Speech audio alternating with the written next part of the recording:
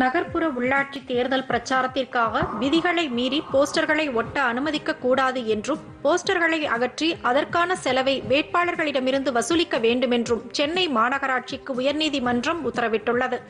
நூற்று பதினேழாவது வார்டில் போஸ்டர் ஒட்டப்பட்டது தொடர்பாக புகார் அளித்தும் காவல்துறை மற்றும் தேர்தல் ஆணையம் நடவடிக்கை எடுக்கவில்லை என கூறி உயர்நீதிமன்றத்தில் அஇஅதிமுக வேட்பாளர் வழக்கு தொடர்ந்திருந்தார்.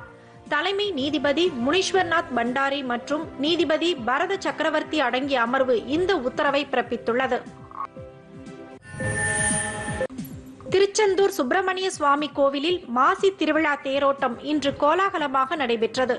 முருகனின் ஆறு படை வீடுகளில் இரண்டாம் படை வீடான திருச்செந்தூர் சுப்பிரமணிய சுவாமி மாசி திருவிழா கடந்த ஏழாம் தேதி கொடியேற்றத்துடன் தொடங்கியது.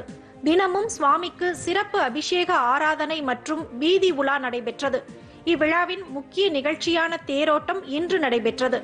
இதில் ஏராளமான பக்தர்கள் கலந்து கொண்டு வடம் இழுத்தனர்.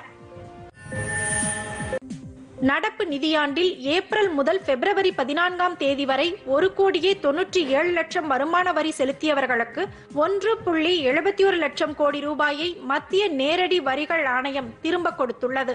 இதே போன்று கார்ப்பரேட் நிறுவனங்களின் இரண்டு லட்சத்து இருபத்தி எட்டாயிரம் வழக்குகளில் ஒரு லட்சம் கோடி ரூபாய்க்கு மேல் பணம் திரும்ப அளிக்கப்பட்டுள்ளதாகவும் தெரிவிக்கப்பட்டுள்ளது. ஜம்மு காஷ்மீரில் ஜெய்ஷே முகமது இயக்கத்தைச் சேர்ந்த பத்து தீவிரவாதிகளை காவல்துறையினர் கைது செய்துள்ளனர். மாநில புலனாய்வு அமைப்பு பல்வேறு இடங்களில் அதிரடி சோதனையை நடத்தி தீவிரவாதிகளை கைது செய்துள்ளது. இவர்கள் தீவிரவாத செயல்களில் ஈடுபட திட்டம் தீட்டி வந்தது விசாரணையில் தெரிய வந்துள்ளது. இவர்கள் தீவிரவாத செயல்களில் ஈடுபட இளைஞர்களை பணியில் சேர்த்து வந்துள்ளதும் நிதியுதவி அளித்து வந்துள்ளதும் ஆயுதங்களை கடத்தி வந்துள்ளதும் தெரிய வந்துள்ளது.